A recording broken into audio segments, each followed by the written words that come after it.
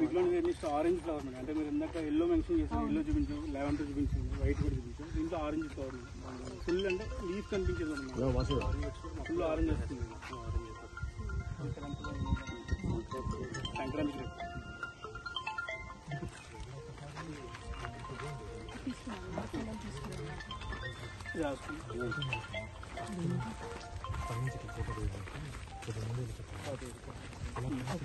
Strawberry Goa ఒకటి వచ్చింది. Madam. అది కూడా చిన్న చిన్న సైజ్ ఇంట్లో వస్తుంది మేడం గోవా ఇది. మంచి స్వీట్ ఉంటుంది మేడం స్ట్రాబెర్రీ గోవా. లోపల అంతా కూడా రెడ్ ఉంటుంది. సీడ్స్ కూడా చాలా చిన్న చిన్న టైనీ ఉంటాయి తైవాన్ గోవా అంటే ఏంటంటే అది యాక్చువల్లీ తైవాన్ గోవా కూడా ఒరిజినల్ ఇవ్వలేదు మేడం ఇప్పుడు దాకా మార్కెట్లో ఇండోర్. పీస్ బిల్ అని చెప్పేసి మనకి స్పాట్ ఫిల్ మనకి స్నేక్ టైప్ వస్తుంది ఈ జామెట్రీ వచ్చి బ్లాక్ ఆక్సిజన్ ప్యూరిఫైర్స్ లోపల పెడితే ఏం కదంటారా ఏమవుతుంది ఏసీలో పెడు ఏసీలో పెడు టెన్ ఇవ్వండి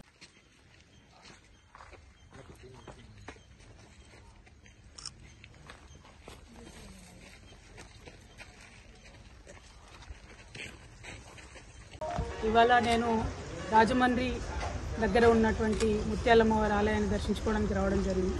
అట్లానే దగ్గరలోనే ఉన్నటువంటి కడియంలో మరి ప్రపంచానికి తెలుగు వారి యొక్క ప్రేమ పచ్చదనానికి సంబంధించినటువంటి ప్రేమను పరిచయం చేసినటువంటి అనేక నర్సరీలు ఇక్కడ ఉండడం అనేది చాలా సంతోషించదగ్గ విషయం. దాదాపు రెండు మూడు వేల ఎకరాలలో పెద్ద పెద్ద నర్సరీలు ఇక్కడ ఉండడం అన్ని పెద్ద పట్టణాలకి ఇండియాలో అదేవిధంగా ఈ విదేశాల్లో కూడా మంచి మంచి మొక్కల్ని పంపించడం అన్నది చాలా సంతోషించదగ్గ విషయం.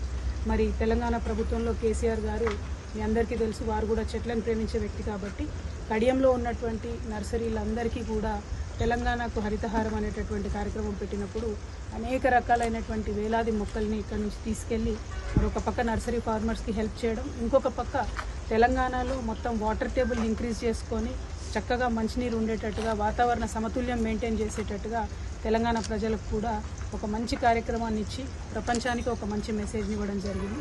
ఇక్కడ చాలా హ్యాపీగా ఉంది. వచ్చి వాళ్ళ పుల్ల ఆంజనేయర్ గారి నర్సరీలో మేము చూడడం జరిగింది. చాలా మంచి మొక్కలు చాలా మంచి ప్లాంట్స్ ప్రపంచవ్యాప్తంగా ఉండేటటువంటి నర్సరీలతో కూడా అనుసంధానం చేసుకుంటూ వారి ఇక్కడ మొక్కలు పెంచడం అన్నది సంతోషం. నర్సరీ ఫార్మర్స్కి ప్రత్యేకంగా అన్ని ప్రభుత్వాలు కూడా ప్రయత్నం చేసి సహాయం చేసినట్టయితే ఇంకా మంచి మంచి రీసెర్చ్ చేసి మంచి వెరైటీస్ పండించేటటువంటి ఆస్కారం ఉంటుంది.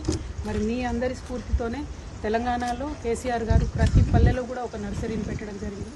ప్రభుత్వ ఆధ్వర్యంలో ప్రతి పల్లెలో నర్సరీని పెట్టి పచ్చదనాన్ని పెంపొందించడానికి ప్రయత్నం చేయడం జరిగింది. సో నర్సరీ ఫార్మర్స్ అందరూ బాగుండాలి. మంచి మొక్కలు ఇంకా పెంచి మొత్తం ఆంధ్రప్రదేశ్ రాష్ట్ర పేరుని దేశవ్యాప్తంగా పాపులర్ చేసే విధంగా మీరు ఉండాలని చెప్పి మనస్ఫూర్తిగా కోరుతున్నాను మీకు ఎటువంటి సమస్య థ్యాంక్ థ్యాంక్ యూ మేడం సమస్య లేని ఇల్లు ఉండదు పరిష్కారం లేని సమస్య ఉండదు. బంధాలు గొప్పవి బాధలు చిన్నవి. మీ సమస్యని మేము పరిష్కరిస్తాం. రండి మాట్లాడుకుందాం.